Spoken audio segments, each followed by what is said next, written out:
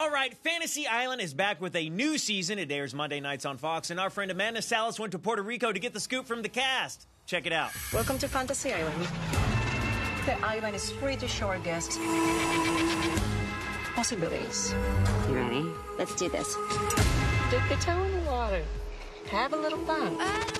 All right, Dish Nation on the scene by the sea here in Puerto Rico with you two hotties. You are probably a lot of people's fantasy. Aw, you're too sweet. For sure. So getting right into it, you recently, Mr. Javier, aka John Gabriel, you recently posted a shirtless selfie. Oh. A mirror selfie. Yeah, we, we peeped the Instagram. We saw it, and you were like, dead bods unite. Where, where's the. Donde es And they call that on, on Dish Nation a thirst trap. A thirst trap. Okay. Dad bods unite. Oh, I'm, I'm, Are you familiar I'm, with that? I'm Do you embarrassed think- So what was that? Just just let us know. Like, was that for yourself? Was that for somebody else? Just, Totally just for me. yeah.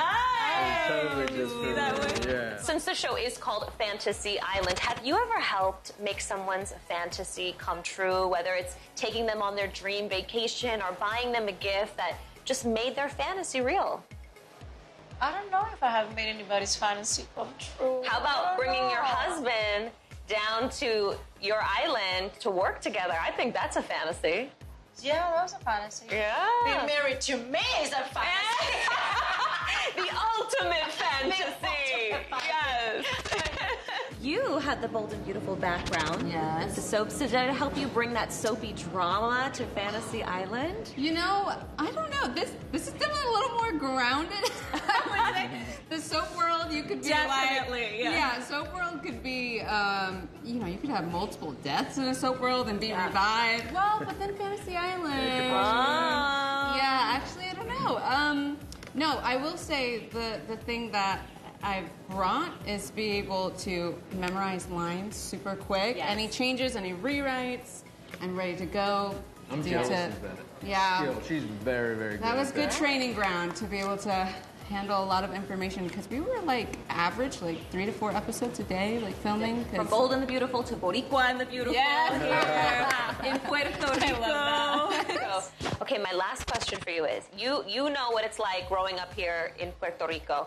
If somebody was going to survive on an island for a month, they have to pack a bag of stuff. What do they have to pack to survive Um, in the jungle? in the jungle, mosquito Yeah. repellent. Yes. Bring a flashlight. Bring some snacks and a good book. And I go, oh, who are you reading now? Oh my God. Mm, What am I reading? I don't know. I don't have time. You know what I'm reading? Scripts from Fantasy Island. That's what I'm reading uh, every single day. So you got the book, you're on the beach, and what kind of booze are you drinking? Pina colada? Uh, me, pina colada, virgin, because I don't drink. Virgin pina colada. Mocktail. Hey, don't forget to hit us up on social media. We're on all these platforms at Dish Nation. We'll see you there.